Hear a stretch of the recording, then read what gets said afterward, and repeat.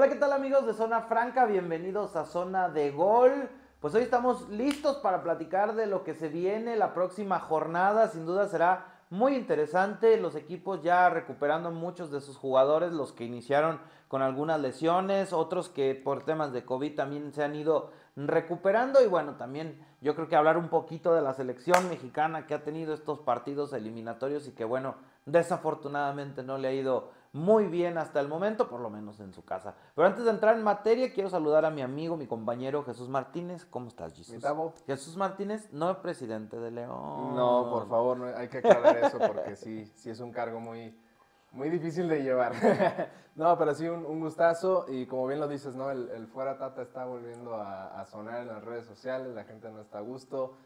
Eh, todo el medio en general está inconforme con, con, con cómo está jugando la selección mexicana. Y, pues sí, fueron hasta este momento dos partidos en esta, en esta fecha FIFA donde ha dejado mucho que desear, uno ganándolo en Jamaica de último minuto y el otro en casa ante Costa Rica sin poder llevarse el triunfo.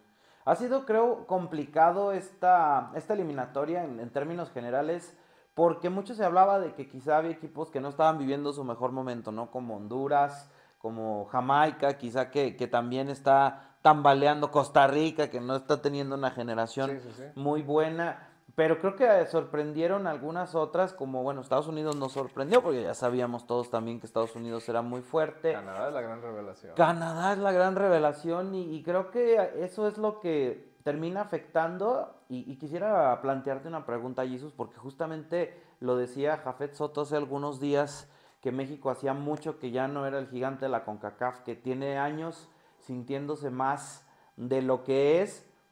Preguntarte a ti, Jesús, ¿tú crees que México, sí, la selección mexicana, los federativos, el ambiente, hasta la misma afición, ¿tú crees que tiene esa percepción de que México es más de lo que en realidad es?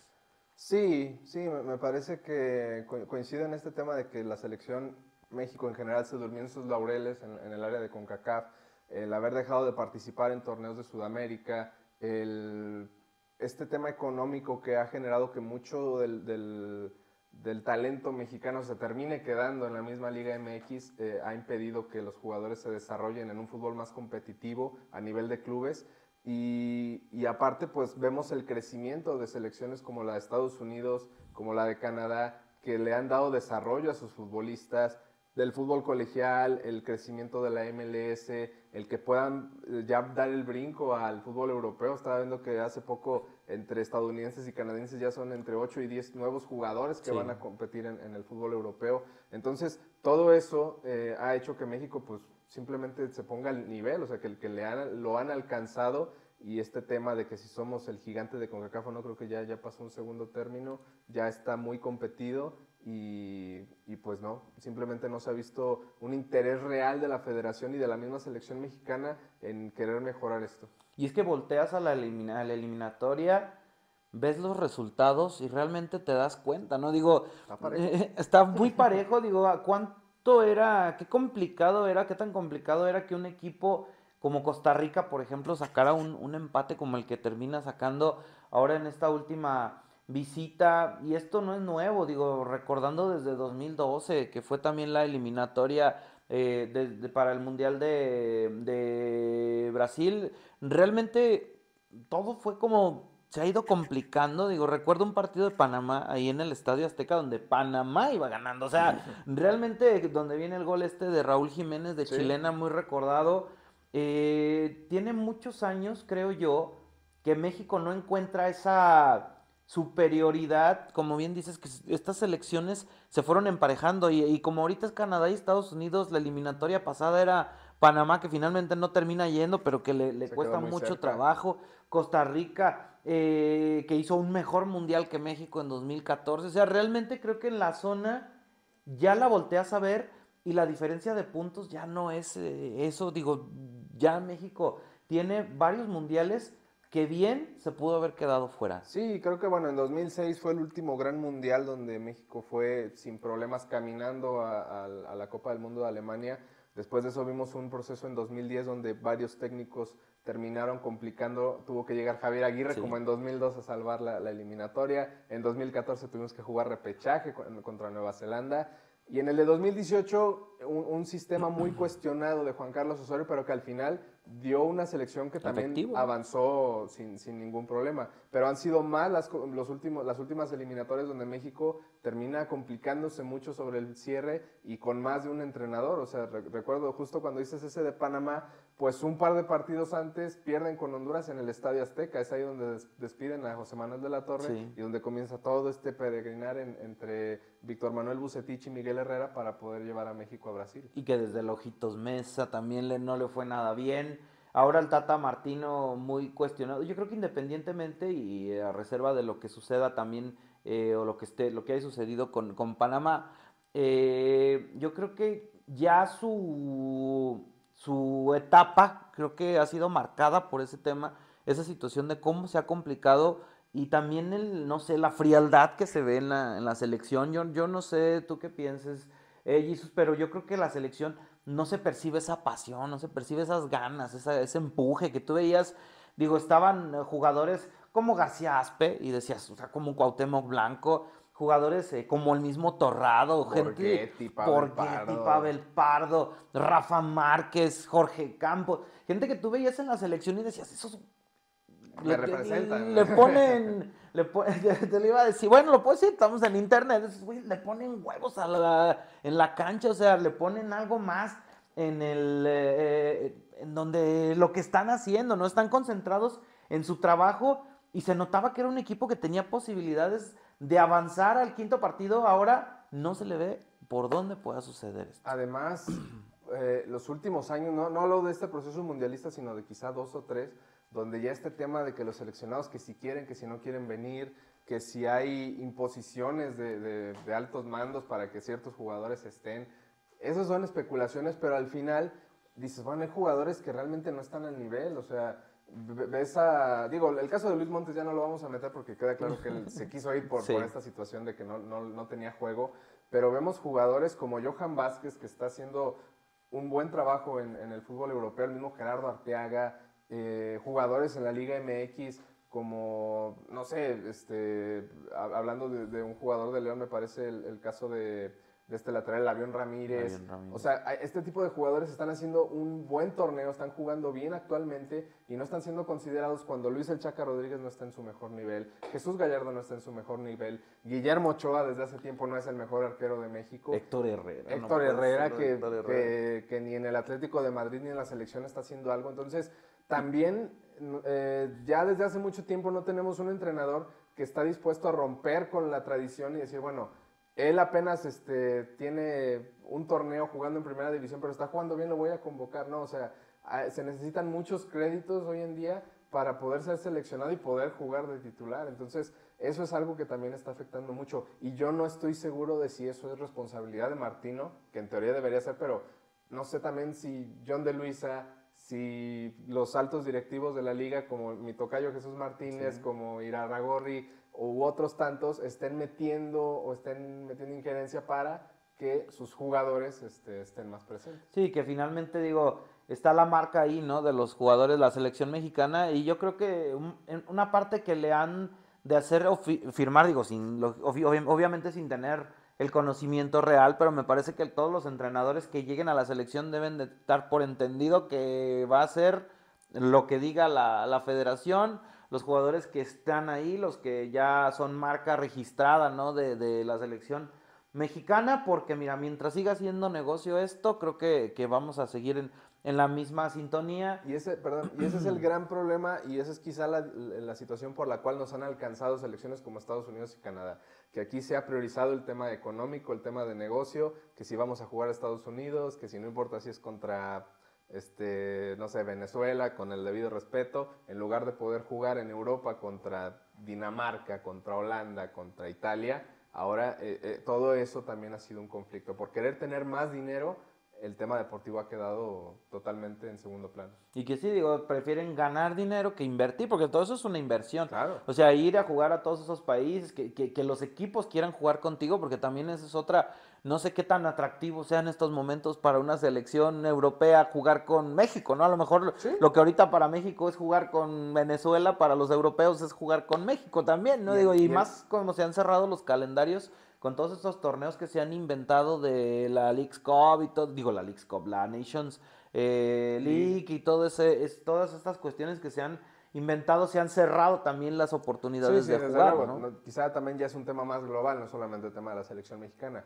pero sí ya quedaron atrás esos tiempos en los años 90, por, por ejemplo, cuando México jugaba contra el Atlético de Madrid, el Milán, o sea, con clubes, también que lo ponían en, una prueba donde tenían que ver de, qué forma jugar y, y todo eso quedó atrás. O sea, me parece que bueno, quizá me, estoy equivocando, pero en 2018 y 2014 no recuerdo tantos partidos de una gira europea previa a un mundial como por ejemplo en 2010. En 2010 recuerdo fueron a jugar a Wembley contra Inglaterra, fueron a jugar a, Roma, me parece, contra Italia. O sea, se, iban a las casas de, los, de las selecciones importantes y a, y a sentir el rigor de no ser local, porque pues en Estados Unidos todos los partidos México juega de local. Es muy difícil que no haya mexicanos en los estadios. Sí, menos cuando juega con Estados Unidos, que ahí se los llevan hasta el norte allá para que les vaya mal. Pero bueno, por lo pronto ahí está la selección mexicana y sus problemas del Tata Martino. ¿A ti te gustaría que Tata Martino llegara hasta el Mundial? Sí, yo honestamente no estoy, yo, yo no estoy de acuerdo con que esto sea, esto se resuelva quitando al Tata Martino, no se va a resolver. Y con Miguel Herrera honestamente menos. No, Miguel Herrera, o sea, ya quieren aplicar la del... La de 2014. La de, sí, cuando le hablaban al, no, a este Javier Aguirre. Javier Aguirre ya, ahora va a ser Miguel Herrera el nuevo, Javier Aguirre. El nuevo bombero, ¿no?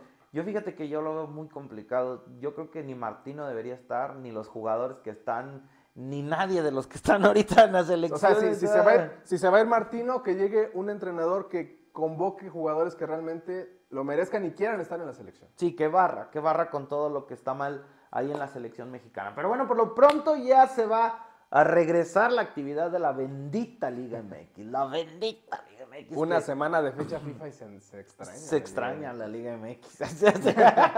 Pero bueno, Jesus, vamos a tener partidos interesantes en esta jornada. Ya cinco, si no me equivoco. Uno, dos, tres, cuatro. No, jornada cuatro. Jornada cuatro, me Jornada cuatro, apenas se extraña, caray. Pero va a haber buenos encuentros. Sí, bueno, precisamente por la fecha FIFA que termina eh, entre 2 y 3 de febrero, se juega hasta el 5, Necaxa recibiendo a Pachuca en, el primer partido del sábado a las 5 de la tarde. No hay mucho que decir de este partido, me parece. A las 7 tenemos el América contra San Luis en el Estadio Azteca. Las Águilas tratando de, retomar el vuelo y el Necaxa que por ahí medio quiere... Oye, que veía sus refuerzos. El otro día subían una foto, en una leí una, una nota de que había mucha competencia interna por los puestos, veía todos los refuerzos que vean, no se reforzaron mal, ¿eh? O sea, creo que el América se ha reforzado bien y es un equipo que yo creo que avanzando las jornadas va a ir caminando y San Luis es como que ahorita, digo, si ya a San Luis les complica, entonces sí, ya es para que se enciendan las alarmas. Aquí nuestro amigo Dani Villarreal sabrá de lo que estamos hablando. Exactamente, ya ahí sería el foco rojo si no le ganan al San Luis. Eh, a las 9 de la noche, el Juárez recibiendo a las Super Chivas de Leaño y compañía. Este, con... el superestreno de José Juan Macías regresando. Así es, veremos qué, qué tal.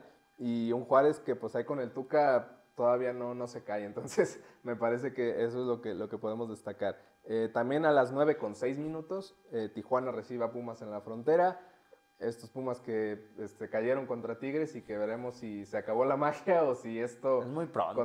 Sí, sí, sí tenía como que esa esa costumbre, ¿no? De empezar bien y luego se, va cayendo y luego otra vez como que al final... Sí, pero como, para la jornada 6 o 7 es cuando normalmente se venía cayendo. Se viene el bajón, entonces esperemos que, hagan un buen partido en Tijuana. Eh, ya para el domingo a las 4 de la tarde Gallo recibe a Puebla el Puebla del Arcamón, que el Arcamón ya lo piden para la selección mexicana también como una opción. Ya, es, es, una exageración pedir al Arcamón para la selección. Un, buen torneo con Puebla ya es para candidato para selección. Que se vaya para Chivas. Todavía. Luego el campeón del fútbol mexicano, el Atlas, eh, va a recibir al hermano a Santos Laguna en el Estadio Jalisco a las 6 de la tarde. Eh, Tigres recibe ya el domingo, eh, este mismo domingo también a las 8 de la noche, a Mazatlán Mazatlán, que también. Con su super figura Marco, Fabián.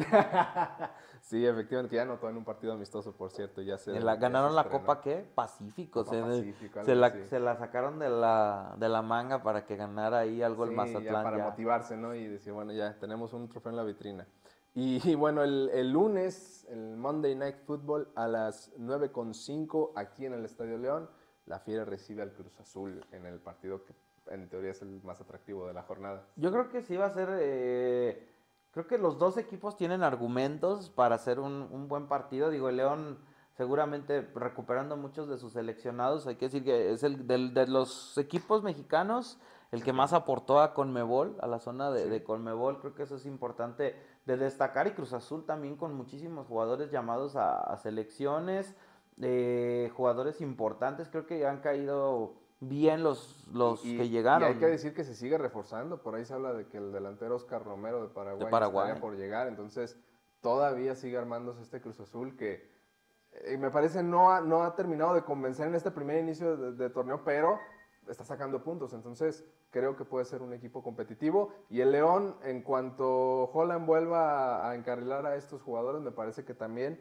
va a ser un equipo muy competitivo. Sí, yo creo, aparte yo creo que Cruz Azul le va a exigir bastante aquí a, León, no va a ser un equipo que se venga para nada a, encerrar o a jugarle especular a, con León, entonces sí pinta para hacer un, un juego muy atractivo. Jesús, pues ahorita que hablaste de Monday Night Football, no podemos... bueno, perdón, antes, antes de pasar a esta sección, eh, mencionar que Rayados de Monterrey ya está por debutar en el Mundial de Clubes, por eso no se juega esta jornada del Rayados ante Toluca, se va a reprogramar para el mes de abril, si no me equivoco. Y este, pues bueno, veremos si Rayados hace la. Si hace la, chiquita ya en, en el Mundial si consigue superar lo de Tigres, que fue llegar a la final y y quedarse ahí. Entonces, vamos a ver. Pero ahora sí. Luce compleja. Pero así vámonos a zona de Tochito. Aquí, mira, ahora sí hubo balón, Jesús, porque ya hay rivales para el Super Bowl el próximo 13 de febrero. Los bengalíes de Cincinnati, que por ahí sorprendieron bastante al derrotar a los jefes de Kansas City, que con Patrick Mahomes ya se le acabó la, magia. Además, por, eh, digo, se queda muy cerca de, llegar al, Super Bowl. El año pasado llega y lo pierde. Después de que ganó con San Francisco, ha ido cada vez más hacia abajo. Me parece que le faltó ahí un poquito de tranquilidad y además le quisieron hacer la misma jugada que le hicieron a los Bills se la quisieron hacer a los bengalíes, pero esta vez ya no, le, salió.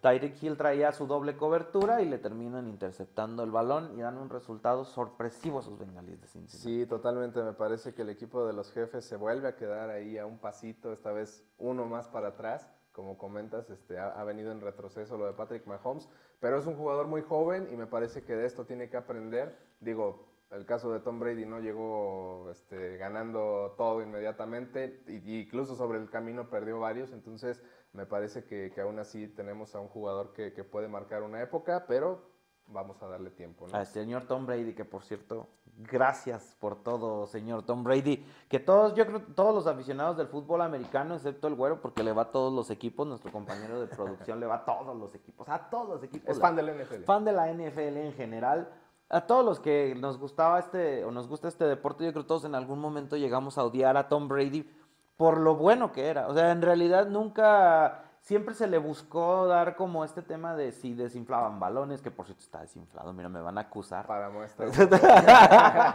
este, si desinflaba balones o si le, le espiaban las jugadas a los rivales Big Belichick. Me parece que Tom Brady es un gran jugador, es el mejor jugador de toda la, la historia de la NFL y sin duda digo, lo que hizo a los más de 40 años ganar el Super Bowl, eh, todavía con Tampa Bay, un, equipo, distinto, un equipo perdedor históricamente, llegó, los hizo campeones, creo que todo esto hay que destacarlo y que bueno, finalmente honor a quien honor merece, Tom Brady, creo que ahí demostró con ese Super Bowl, la polémica se acabó y simplemente demostró que es el mejor jugador de la historia de fútbol americano, por lo menos como coreback. Sí, digo, hay, que decirlo, o sea, eh, coincido en que yo en alguna ocasión dije, no, este jugador realmente es, demasiado bueno como para... para ser real, ¿no? Entonces sí, sí consideré, dije, bueno, lo del famoso de Flategate, que fue justamente lo de los balones desinflados en un partido y demás, pero ese tipo de cosas eh, tumban a un jugador falso muy rápido y más de 20 años de, carrera de Tom Brady, la verdad es que es, es muy difícil tumbarlos con este tipo de cosas. Son siete supertazones, otros tantos que a los que llegó, o sea, llegó también a otras cuantas finales, a otros cuantos supertazones que no consiguió ganar. Entonces, es, es, un jugador que queda para la historia y que va a ser muy difícil que alguien iguale lo que llegó a ser Tom Brady. Oye, y que finalmente ya casi para concluir ya con el programa en la serie de Tom Brady, justamente ahorita que hablaste de los balones desinflados, hay una entrevista con Rashard Lynch, que es defensivo, era defensivo de los halcones marinos de, Seattle, y, decía que si le van a echar la culpa a los balones desinflados por haber perdido un Super Bowl, dice, imagínate la mentalidad que deberíamos de tener para echarle la culpa a esto de haber perdido un partido como ese, ¿no? Entonces, pues, sin duda, un jugador muy interesante de Tom Brady. Y bueno, el otra, la otra final de conferencia, los Rams derrotaron al equipo de, los San Francisco 49ers. Y, se acabó, se acabó me parece, la fortuna de los 49ers, este, el, buen paso que llevaban y todo lo que se estaban ilusionando. Se toparon con pared y, ahora los Rams pues a tratar de, de llevarse el supertazón. Así es, no hubo ofensiva que pudiera respaldar al equipo de San Francisco, que a la defensiva jugó muy bien. Pues se acaba aquí zona de Tocho, ahí va. Qué buen lanzamiento. Muy bien, Jesús, pues así llegamos al final ya de esta zona de gol y de con su Era zona gol de campo, me equivoqué otra vez con el nombre. Pero bueno, llegamos al final de zona de gol, esperando que sea muy buen partido, Jesús. Muy buenos partidos esta jornada, ¿no? Sí, sí, hay que mencionarlo. El Supertazón llega hasta el siguiente fin de semana, de 13 de febrero. Este será un partido muy interesante verlo y, ver de qué forma juegan tanto a la ofensiva como a la defensiva. Acá la producción ya está festejando porque es el único domingo que están esperando en todo el año. Así es, se nos acaba el fútbol americano, pero el fútbol soccer sigue y sigue y sigue dando. Nosotros vamos a estar muy pendientes de todo lo que ocurra y los invitamos a que sigan zona de gol. Nos vemos la próxima semana ya para, para revisar todo lo que ocurrió en esta jornada 4 del fútbol mexicano. Hasta pronto. Yo.